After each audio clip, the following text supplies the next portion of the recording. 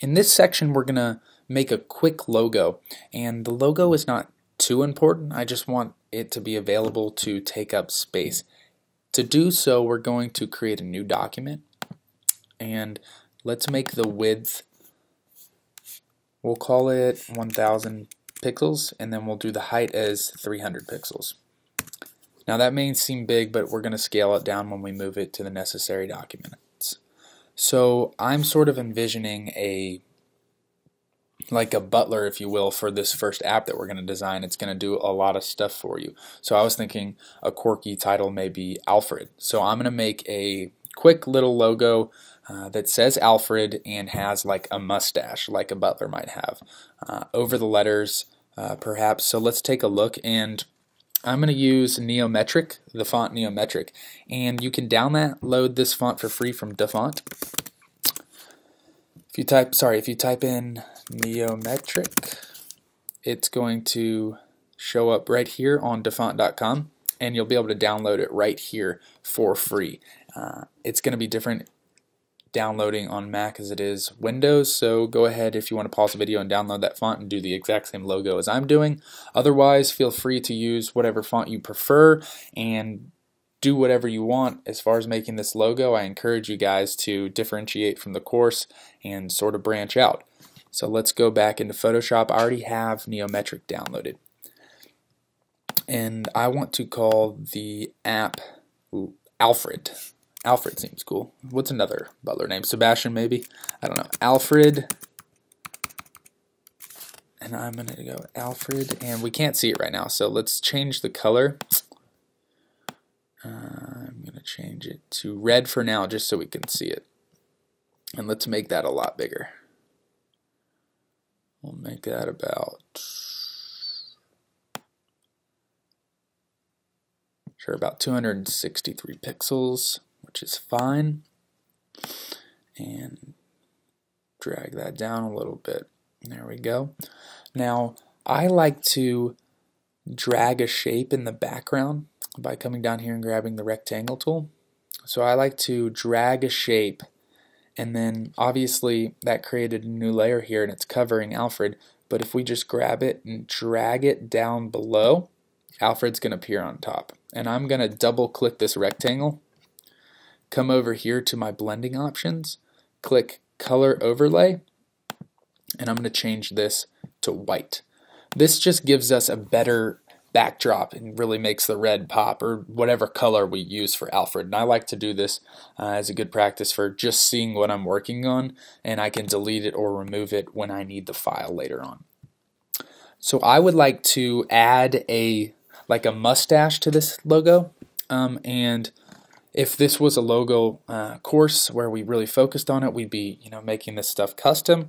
I'm just going to go to the internet and I'm going to Google uh, mustache icon. Okay, cool. And I'm just going to find an icon of a mustache, find a cool one. This one looks pretty cool. And if I'm going to click view image, and I'm just going to right click and copy this image and go back into Photoshop. Now, when you copy an image, you can actually paste it directly into Photoshop. Come up to File, New, and the dimensions are already going to be set at 614 by 614, which is the size of our picture. I'm going to click OK. Now we have a blank canvas. All you have to do is come up here, click Edit, and Paste. And boom, there we have it. Now, I want to get this mustache really quickly. Um, and the way I'm going to do that is I'm going to grab um, my quick selection tool and I'm going to put it inside this black mustache. And that's going to select all the black color. Now this is one layer and a trick I like to do is to grab what I want with this with this tool we just used, come up here and click select inverse which is going to grab the opposite of what I just selected, the inverse obviously, and I'm going to click delete. That's going to delete all the content um, behind the mustache. If we hold Control D on Windows or Command D, it's going to deselect, and now we just have this mustache. So we'll come back up here, grab our drag tool, and I'm going to drag this all the way up and hold it over this other file. And then while still holding, let go. And it's going to drag it into this file. There, now I have a uh, cool little mustache. Uh, it's a little too big, and I would like to make it smaller. Maybe fit it right over this E would be cool.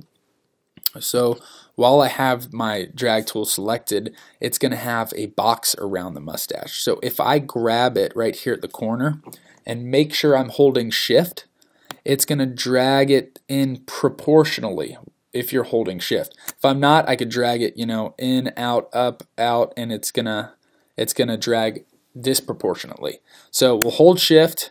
We'll make that a more reasonable size. We'll try right there. Come back up here and click the tool again, and it's to say apply a transformation. Yes, let's apply it. And that looks good. We'll do there. Okay, cool. Now I want to change the color. I was imagining more of like a, a cool orange color for Alfred. So I'm going to come up here. Sorry. I'm going to come up to Alfred and I'm going to select a different color. Um, and let's come down here and I'm going to drag down to orange. Find a darker, sorry, deeper orange. No. Let's no. Being picky here. Um, no, let's go a little dark, lighter. There we go. F3940D um, is the color that I am using. Alright, and I'm going to go ahead and Control C copy this color because I want to make the mustache the same color. And to do that, I'm going to double click the mustache layer over here. Um, by the way, it's good practice to organize these things, which we're going to get into a little bit later, and also to rename uh, layers so you can tell what they are. I would give this a name of mustache, but uh, unnecessary for now. We're just creating a simple logo. I'm going to double click the mustache, and this is something we're going to be doing a lot to change colors, to change uh, the gradient of something, or to give it a stroke. Um, so we're going to double click, and this is going to pull up our layer style and our blending options. And we're going to come over here to color overlay again. Now I copy and pasted that color I just used, um, so I can do this. But also, you know, if I have a random color, I can just drag over the document and it's going to pull up my eyedropper tool. So I can hover over this yellow sorry, this orange, I guess, and click it, and that's going to automatically turn it into the color that I'm already using. I'm going to come back, delete this rectangle that we built so we could sort of see the colors pop a little bit more by doing that. And the last thing I'm going to do is come up here to image and click trim. And what this is going to do is going to delete all the canvas that isn't currently being used by our are layers that take up space. So when I hit OK, it's going to shape it straight down to exactly the letters and, and, and the mustache. Um, and I'm going to save this as a uh, logo dot, and we'll save this extension as a PNG because it has transparent layer. And I'm going to save this in my splash page. Awesome. Now, that is our logo. Um, I encourage you guys to create your own logo if you want. Change things up. Obviously, this isn't crazy. This is pretty simple. Um, this will do for the purposes of this course, um, uh, or or even just this this section of the course. But later on, we'll we'll get into a little more about how to design some cool logos uh, and and some cool bonus content.